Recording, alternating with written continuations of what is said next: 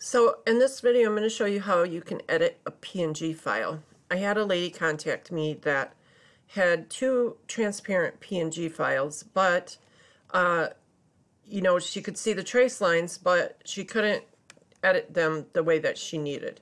So I'm going to go ahead and um, import those images. And this is one. And this is the other. Okay, so um, if I put these both on the mat, well, actually, let me change my mat to 12 by 24.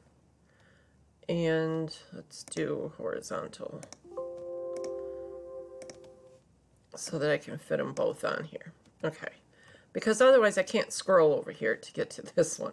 So, all right, you can see that I have cut lines on everything.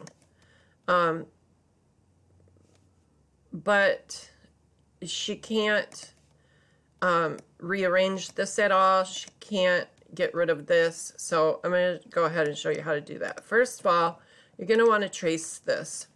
Um, and you're going to have to actually import it from the software and then update the preview. And I've already done this, so I know that my settings are right. And click OK. And then I can get rid of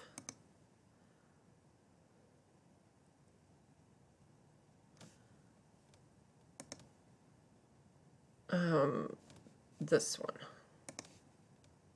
Well, let's check. Let's go to our shape tool and click on this one I see no nodes, and this one I have nodes. So the one with the nodes is what I want. So let's delete this one. It always traces right on top, but sometimes I manage to grab the bottom one, like if I grab in the white part, I don't know. Anyways, and then I also need to trace this one. So I'm going to go ahead and I'll just delete this one so there's no confusion. And then I'll come and find that one again, and I'll trace that and I know that my settings are right because like I said I've already done this before.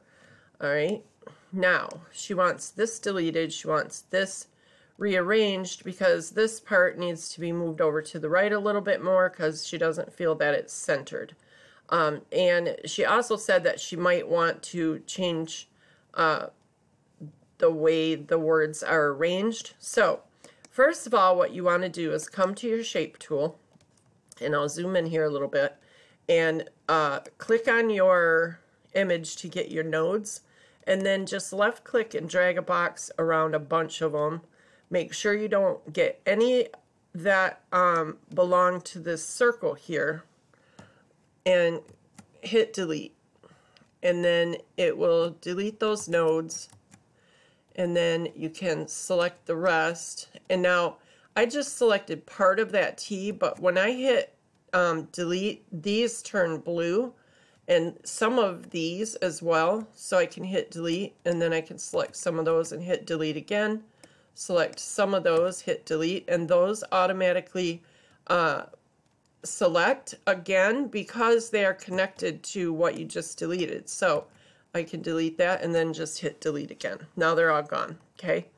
Now, for let's go back to the selection tool and let's actually move this one over here and we'll move this one over here. Okay, so now to fix this, what you can do is right click and break apart or go to object, uh, break apart. Okay, once that's done, you can either select a word, you can select two words, a line, however you want to do it. I'm going to just go ahead and select the line and click Object Merge. So the shortcut for that is Control Shift B as in Beth.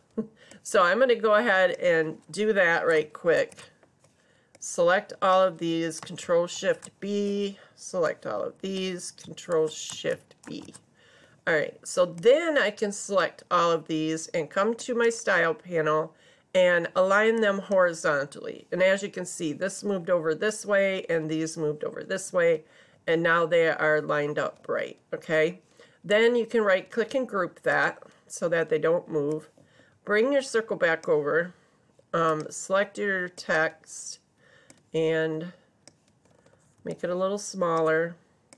Put it where you want. You can select all of this again, and to select all is uh, Control Shift A, and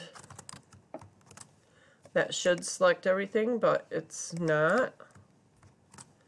I don't know why. Anyway, I'll just do it this way. I'll check my layers panel to make sure that I have everything um, selected.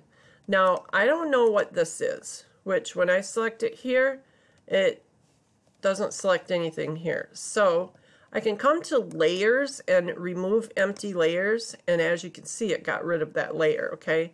So then I can select this one, select this one, and I can group those, right click and group. Now she actually wants to print this because she's going to use it for sublimation. So if that's the case, select it, come to style and change it from cut to print plus cut print, all right? And then when you check your preview, you'll see that you have no red lines. They're all black, which shows the printable. If I turn the printable off, everything disappears. If I turn the cut lines off, nothing happens because this is now set to print, okay? And that's it. That's how you can um, edit a transparent PNG file. Well, actually two of them. Thanks for watching.